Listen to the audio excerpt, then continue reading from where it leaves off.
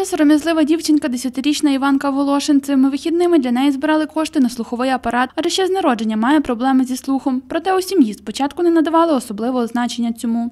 Зразу ну, е, не давали цьому значення, ну, думали, що вона така стісительна, дуже хвилюється. Така.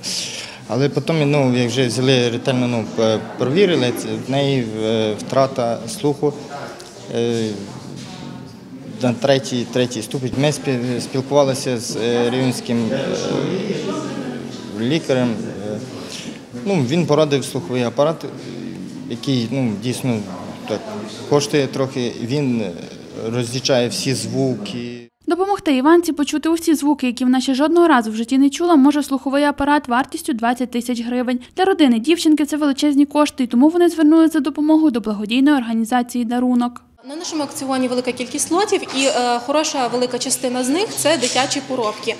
Е, це і е, поробки з майстер-класів, які проводила наша організація. Це і власне поробки, які просто роблять дітки, які живуть у інтернатах.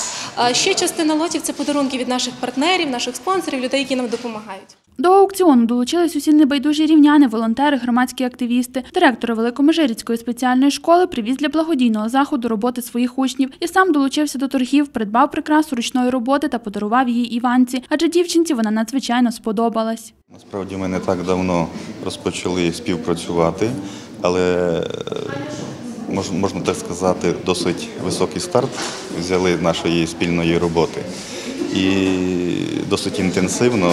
От, і відразу от я, я запрошений і, звичайно, за це дуже вдячний. На аукціоні представили близько 20 різноманітних лотів. Загалом з продажу вдалося виручити 24 тисячі 450 гривень та 100 євро. Необхідну суму коштів одразу передали для опікуна Іванки для придбання необхідного їй слухового апарату. Решту зібраних грошей витратять на навчання дітей, адже благодійна організація Дарунок започаткувала новий напрям своєї роботи. Анастасія Шепетюк, В'ячеслав Мельник, випуск новин.